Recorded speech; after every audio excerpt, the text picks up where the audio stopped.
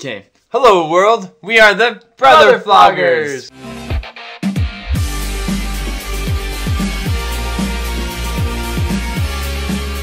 We're here to help you know what to watch and who to watch it with, so that you can know if a movie is groovy for you. Or lots of movies are groovy, like today. Movies are groovies for you. Groovies.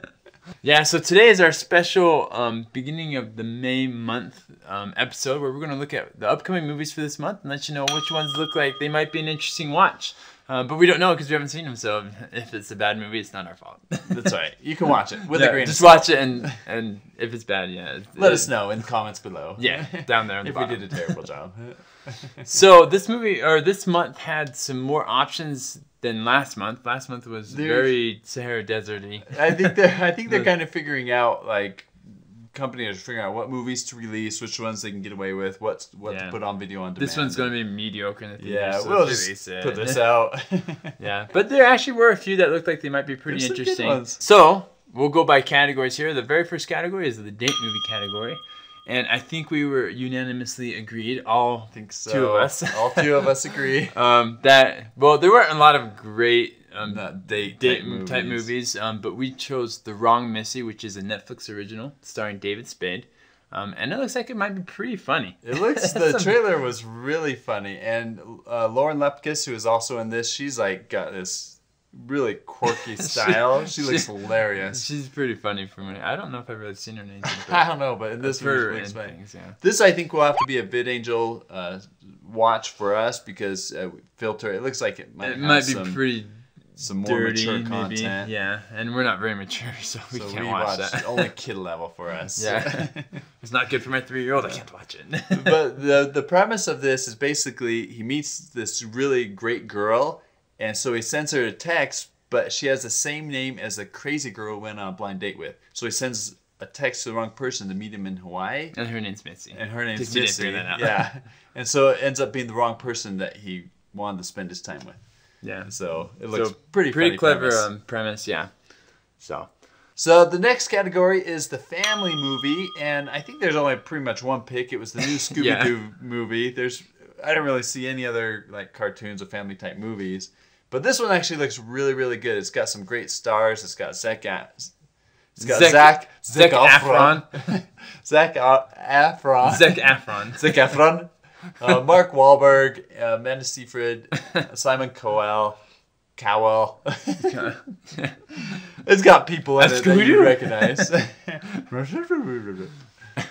Entertaining. Yeah. It looks really cute. Kind of a backstory on Scooby Doo, so that'd be cool. Yeah, I'm not a huge fan of Scooby Doo, but it looks like it might actually be pretty entertaining. Yeah, it looks pretty fun. A, it'd be a decent watch. Kids will like it, Yeah, they'll and it's PG, so it's And if they don't, they probably enough. don't have a soul. That's right. soulless children Soulless watching the movie. Why is that Speaking of soulless children, the, The guy neg- flick. the guy flick is a perfect soulless child because it's we we decided to choose. Well, You it's- I chose, chose. yeah. I decided there wasn't any great like action flicks, and so I chose The Wretched, which is a horror movie, but it looks very interesting. It's about like a, I guess it's like a witch that possesses neighbor.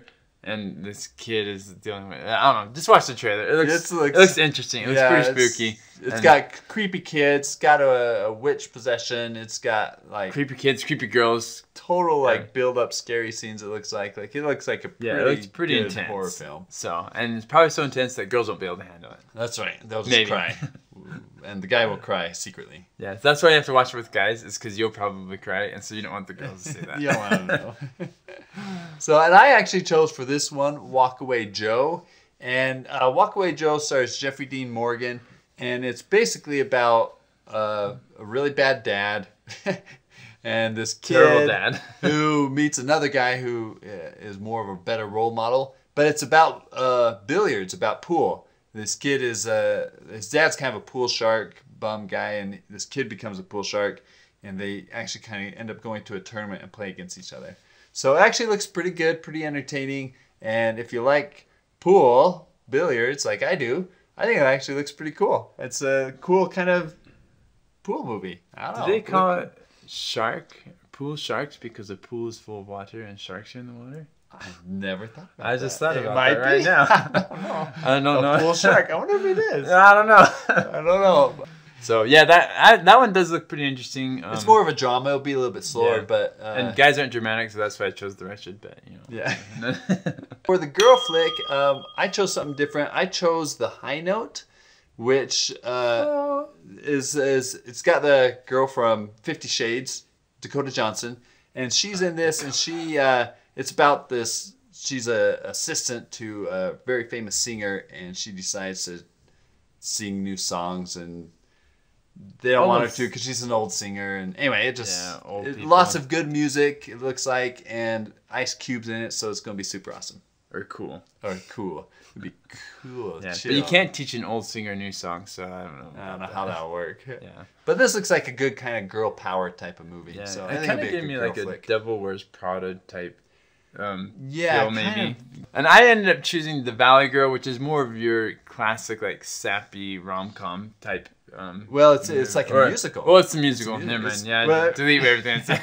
Thinking of, thinking of a I'm thinking of a different one. one of the other Um, girl movies yeah. you watched So this one actually it gave me the like hairspray vibes. Totally Like when I vibe. hairspray my hair in the morning. It's like I'm watching the chick flick. No, like the hairspray movie. Uh, it's kind of an '80s musical, '80s style yeah music music video. and, and it's got Jessica Rothe, who is from Happy Death Day, yes, and so she's great. She's really fun. and Josh And Josh White House Josh Whitehouse. from uh, The Knight Before Christmas Netflix original. Like Check it. out our video on that one. Uh, watch our review on that. That's a terrible movie. um, but he's got the exact same hairdo, and it's a terrible hairdo. It's Yeah. like weird. that's why I want to watch it. I want to see his hair again. But it, it doesn't look amazing, but you know, It looks fun. It looks like It looks be like fun. it's got great '80s music and dancing and girls and guys kissing. Yeah, So it's so a perfect chick flick. perfect chick flick. Probably predictable. Highly, I'm guessing. Except they're probably throwing a '90s song just to throw it off. yeah, that is- Finally, the last one is our um because we did the guy flick, girl flick. This is our gender neutral flick. Just no, this is the this is the must watch. Um, the I we chose well we both chose um, Yeah. Fantasy Island, which looks it's kind of a, a scary movie. Yeah, it's Again, kind of a more of a thriller. thriller, I guess. yeah, more than Um, horror, I think. Yeah, um, But it looks pretty looks intense. interesting. It's it's not Fantasy Island, the TV series. Let's No, throw that out there. It's a little bit different. It's basically these people go to this island. I'm not sure how they select them, but then these these fantasies or these dreams that they wish could have happened starts happening. But they're like Like, morbid things. Like I wish this would have happened to this person, Like, and this then that person's bullied, there. They're getting bullied tortured. me, and- and we're gonna torture him. Yeah, so it looks so- pretty- but it looks it looks like it might be an interesting thriller, and I'm guessing there's a twist. yeah, there's got to be. If there's not, then I'll probably be disappointed. But Yeah, but it looks it just looks interesting. It just looks like a very uh, intense thriller kind of movie that looks like it has a good, interesting, unique story. and teaches a good moral lesson, Yeah, maybe. kill the people you hate. Uh, wait. Wait, yeah, unless they kill you first. I know.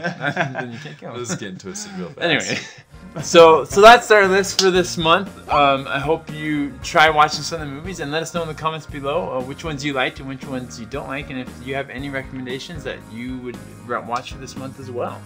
We will see you guys at the next movie, or maybe not because we can't go to the theaters. So we'll have to We're Zoom, stuck. Zoom Maybe meeting not. We movie. can't. We're gonna be stuck in our house forever.